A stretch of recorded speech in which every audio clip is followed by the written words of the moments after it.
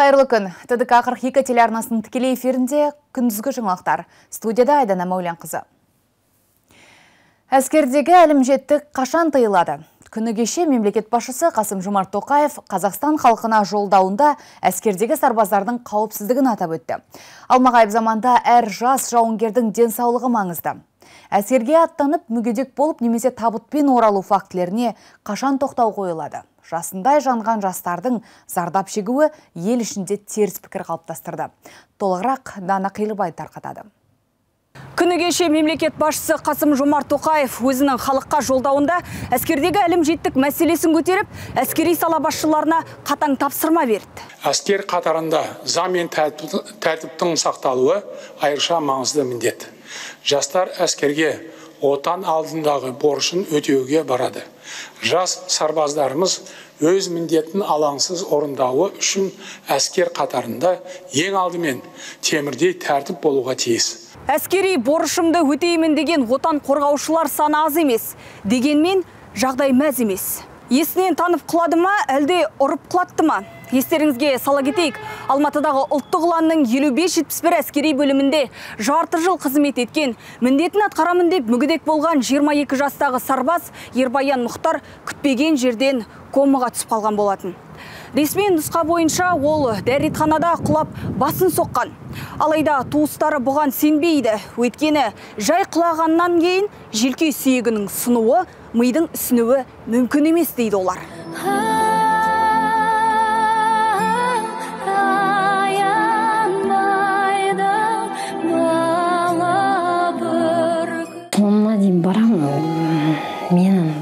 Талабымды айтқанмен де олар орындамайды.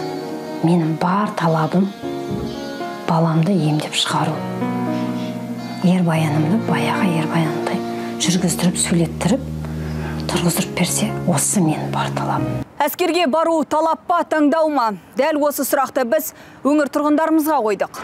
Егер ол саған болашақта керек болса бару керек деп ойлаймын.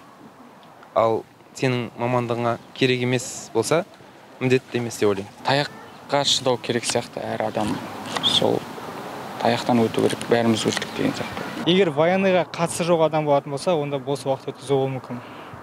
Өйткені ол басқа салада жетістіктерге жетуі мүмкін. Әлеуметтік желідегі халықтың пікіріне көз жүгіртсек. Петиция жарияламаймыз ба? Ашық сот болсын. Менің балам тура осындай жағдайда болған. Қазір тоғыз ай өтті. Жақсы болды. Толық сөйлей бастады. Таяққа сүйеніп жай жүреді. Ербаян, мықты бол. Жазылып кетесің балаларымды әскерге жіберуге қорқамын қандай әп баланы қорғылғандар жазасыз қалмасын Ал қазіргі жігіттердің отан алдындағы міндетін атқаруға деген құлшынысы қалай? Бұл сұрақтың жауабын біз қорғаныс істер жөніндегі департамент өкілінен біліп қайттық. Қазіргі таңда мына азаматтарымыздың ішінде Ә, шақыру қағазын алмай қазіргі таңда екі ә, хабарлама жүргізілеміз. Бұл қағаз жүзінде жұмыс орнына немесе тұрғылықты жеріне. Сонымен қатар 14-14 бағдарламасы арқылы ә, еков электрондық үкімет арқылы смс хабарламалар жүргізіледі. Осы шақыру қағазын ал, алмаса да қазіргі азаматтарымыз оқу орындарынан академиялық ә, каникулдар алып әскери борышын өтеуге ынталы жігіттердің жылдан жылға әрбір ә, шақыру науқанында өсіп келеді саны. Әрбір елім деген ердің міндеті отанын қорғау. Қорғайтындардың өзі қорғансыз күйде қалмасын даланың менде сүйемін сенде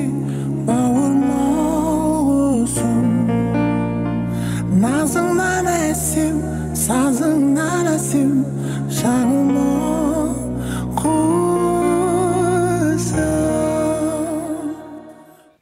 Қаратөбе ауданның әкімі халық алдында есеп берді. Ол атқарылған игі істер мен ауданның даму динамикасын жайып салды. Жасалған жұмыс көп, десек те әлі шешімін таппай келе жатқан мәселелер де жоқ емес. Бұйыл ауданға қарасты Қоржын ауылы суға кетіп, тұрғындар баспанасынан айырылды. Мемлекет қиын кезде халықты қолдап, үй салып берді. Президент Қасым Жомарт Тоқаев та аудан орталығына келіп, тұрғындармен кездескені есімізде. Жиынға келген қаратөбеліктер толғандырған сауалдарын қарша боратты. Азаматтардың жанайқайы тілші материалында кездесуге келген қаратөбеліктер әкімдерге сауалдарын жолдауда тосылмады. Тұрғындар тас жолдың жағдайын сынға алып ауыл аралық қатынасты дұрыстауды сұрады. Жолдарды жөндеу бойынша соның екі мың шақырымнан он мың шақырымға шейін көбейту туралы айтылғаны бізге қуаныш ұялатты. Соның ішінде біздің ауданда да осындай күрделі мәселелер бар. Жобалық сметалық құжаттарымыз дайын тұрған. Мынау қаратөбе жупида трассасынан жусандай ауылына шейінгі он жеті километр жолға қаражат бөлінбей қазір тоқтап тұр. Облыс әкімі жолдарды жөндеуде арнайы жоспар жасақталғанын айтты. Ол бірнеше ауылды жалғайтын тас жолды жөндеуге басымдық бердік дейді. Келер жылдардың жоспарында деген жауап естіген ауыл тұрғындарына енді шыдай тұруға тура келеді. Облыс көлемінде ауылдарды дамыту бағдарламасын жасақтаған болатынбыз. Бұл бағдарлама аясында біз қай қай жылы не қай ауылға не нәрсе жасайтынымыз бәрі жазылып тұр. Жоспарымыз бар. Қаражаттың көздерімен байланысты қаратөбеліктер аудандық аурухананың жағдайын сынады. Жүкті келіншектер өз үйге түсу үшін өз қаржысына облыс орталығына баруы қажет. Бұл ана мен баланың жағдайына қауіп төндіреді. Бұдан өзге бала мен ересектердің де бір палатада жатып ем дом қабылдайтынын айтып шағымданды. Осы жақында өзім денсаулығыма байланысты қаралғанмын. Ингаляциялары скотчпен оралып жаңағы бұзылып жатыр екен сосын айттым мен мына мынаны жаңартпайсыздар ма бір не ғой деп едім? Бізде жаңағы не жоқ дейді жағдай жаңағы қиын аппарат ол қымбат дейді сол сондай аппараттары несі ауруханаға болса деймін бізде ауруханада ешқандай жаңағы услуга дейді ғой сондайлар жоқ әкім есебінде аудандық ауруханада узиді түсіретін маман тапшы екені анықталды.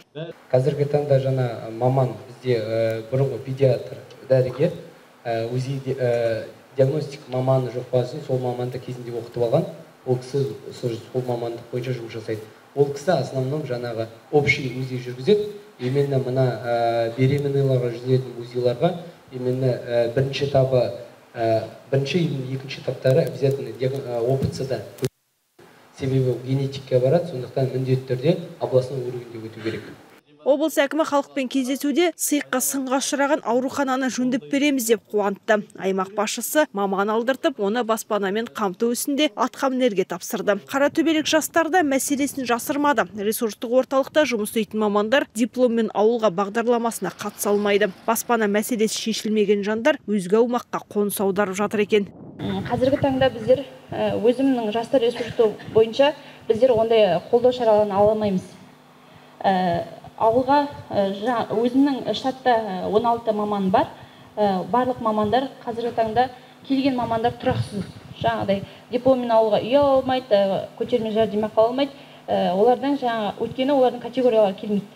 Тұрғындар экологиялық мәселені ортаға салды. Олар көрші ақтөбенің ойыл ауданын мысалға келтірді. Көрші ауданда ну орман бар. Табиғаты ұқсас жерде тал отырғызып орман шаруашылығы бөлімін құруды ұсынды. Азаматтардың пікірін мұқият тыңдаған өңір басшысы тал теректі отырғызудан бөлек оны күтіп баптау керектігін еске салды. Орман шаруашылығы бөлімін ашудан гөрі көшет отырғызып берейік соны күтіп ұстаңыздар деп қысқа қайырды облыс әкімі. Жиыннан соң аймақ басшысы аудан тұрғындарын жеке сауалдары бойынша қабылдады. Ажар хамит азат сарсекеев фарида қатова тдк қырық екі телеарнасы Күй атасы Құрманғазының аты берілген Батыс Қазақстандағы Бәйтерек ауданына қарасты Құрманғазы ауылының мектеп оқушыларына жергілікті мұнай газ саласында мол табысқа жетіп жүрген компания су жаңа автобус сыйға тартты.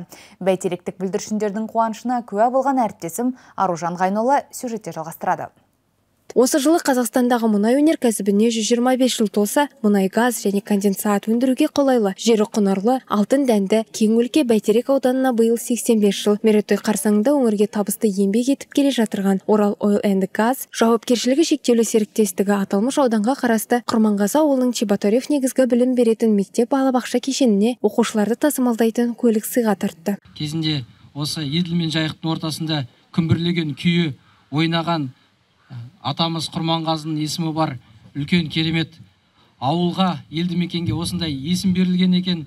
Ол үлкен осы ауыл үшін абырой деп санаймын.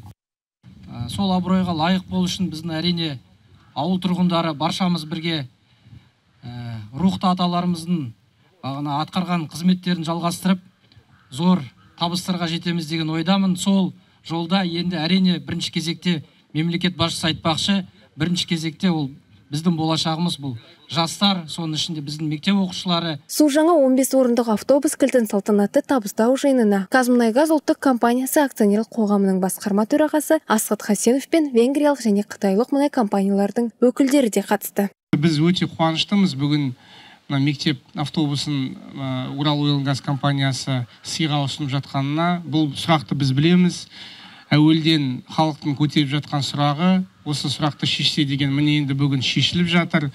Мына кішкентай бүлдіршіндермен балалармен жаңа сөйлестік. Арнайы біздің серіктестеріміз венгриядан мол қытайдан синопек компаниясы келді. Бүлдіршіндер уәде берді. Келесі жылы мұғалімдердің құлақтарының алтын сырға келесі жылы ағылшынша сәлем беріп сөйлесеміз деген. Бәйтерек ауданының әкімі марат тоғжановтың құттықтау сөзінен соң мектеп ұжымына көліктің кілті табыс етілді. Ұстаздар қауымы да қуанышты сәттен алған әсерімен бөлісті. Құрманғазы ауылы мен оған қарасты аманатты қырық бала енді сабаққа қиналмай жететін болады. Бүгінгі шара біз үшін ең орны ерекше шара болып есептеледі. Себебі біздер көп күткен көптен күткен ата аналар көптен күткен ұстаздар көптен күткен оқиға деп есептеймін. Себебі жаңағы оқушылардың қауіпсіздігі біз үшін ең бірінші орында тұрады. Ал жаңа көлікпен оқушы оқушылар тек қана өздерін қауіпсіз емес және өздерін жайлы сезінеді деп есептеймін. Күй атасы құрманғазының есімі берілген осы ауылдың жастары енді мектепке дәл осы көлікпен жететін болады. Білімге құштар жастардың болашағы жарқын болсын деген ниетпен ел азаматтары осындай көлікті ауыл жастарына сыйға тартқан болатын. Жастардың болашағы жарқын болсын аржан қайнулла азат сәрсекеев әйгерім қайнаятова тдк қырық телеарнасы Атырауда электр қуатына деген сұраныс жыл санап артуда. Атырау жарық компаниясының балансында 9400 шақырымнан астам жоғарғы және орта кернеулі электр желісі бар. Қысқы маусымға дайындық барысында 1700 шақырым желі жөнделген. Қала іргесіндегі Талғайран елді мекенінде 5 көшенің электр желісі жөнделмек. Бүгінде арнайы топ күніне 12 тірек бағанды ауыстырып, жаңа қосылған нысандарға электр желісін жалғауда. Ал биыл облыста 1700 шақырым электр желісі жаңғыртылуы тиіс. Шілде айналсақ, почти 240 миллион киловатт сағаттың үстінде потребление болды. Оны енді қазіргі мына моментальный несімен алсақ, нагрузкасымен алсақ, мысалға Атырау жарықтың где-то 320 мегаватт. Атыраудағы бірқатар мекемелер өздеріне қажетті электр энергиясын табиғи газден өндіреді. Дегенмен сала мамандары тұрақты қуат көзін қарастыру бүгінгі күннің басты талабы дейді.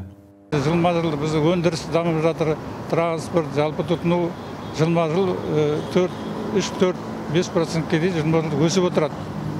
Ол өсімді қамтамасыз ету үшін жаңағындай базалық деңгейдегі электр энергия көзі керек. Ол тек қана жаңа атом энергиясын пайдалану қазіргі жағдайда.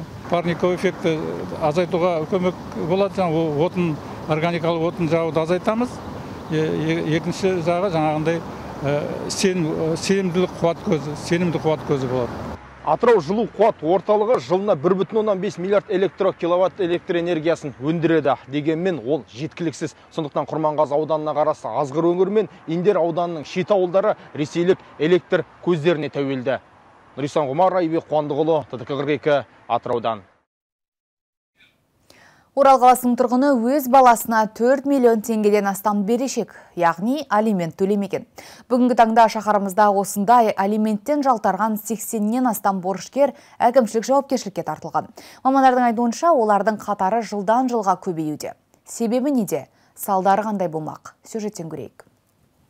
Алименттің қарыз не парыз екенін ажырата алмай жүрген жайымыз бар. Заңға сәйкес бір балаға алимент мөлшері жалақы мен басқа да кірістердің төрттен бір бөлігі көлемінде төленеді. Осы тұста төмен жалақының салдарынан ұлына алимент төлеу мүмкіндігінен айырылған қала тұрғыны василий өз басындағы жағдайын айтып берді. Ол баласына жеті жыл ішінде шамамен 4 миллион теңге бережақ болған. По алиментам я изначально оплачивал. алимент бойынша айтатын болсам басында үзбей төлеп жүрдім. Кейін жалақының аздығынан әрі бейресми түрде жұмыс жасағандықтан төлейтін жағдайым болмады. Ал ресми түрде жұмыс істей алмаймын. Өйткені төлем шотымды жауып тастады алимент төлемегендіктен барлық құқығымнан айырды. Иә төлеуге міндетті екенімді білемін. Бірақ баламды көруге әйелім қарсы.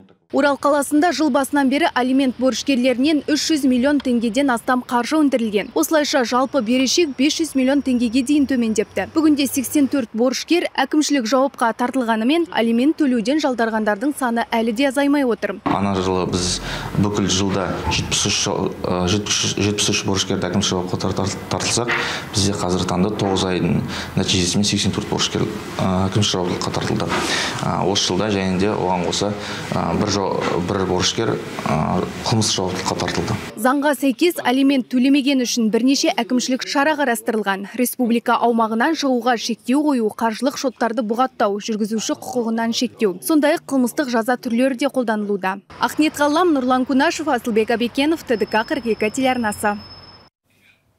Ақтауда санитарлық талапты сақтамай, қауіпсіздік шарасына салғырт қарап, чипсы дайындаған нысан анықталды. 23 шағын аудан 101 үйдің тұрғындары маңайларындағы кәсіпкерлік нысанның ауласында картопты қуырғандардың үстінен шағым айтты. Айтуларынша күйген майдың иісі аулада отырғызбайды екен. Бұдан бөлек қоқысқа тасталған жарамсыз өнімдерді 101 үйдің балалары чипсы деп ойлап жеп жүрген көрінеді. 23 микрорайон 100 домынқасы бізге осындай